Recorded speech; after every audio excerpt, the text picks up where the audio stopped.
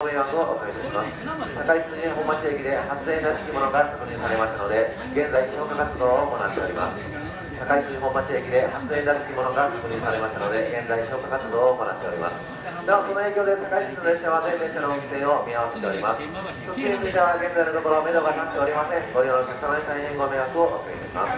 なお他の地下鉄線谷間線等については現在正常の運転を行っております。恐れ入りますが谷間線等をご利用願います。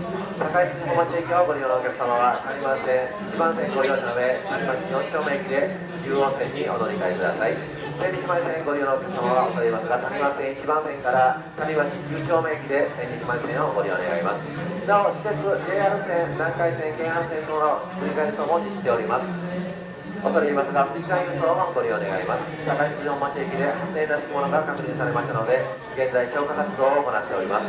なお、復旧等については、現在のところ目処が立っておりません。ご利用のお客様には大変ご迷惑をおかけいたします。通道については、現在のところ目処が立っておりません。しばらくの時間かかるものと思われます。ご利用のお客様には大変ご迷惑はおかけいたしますが、そのお力ですのをご利用願います。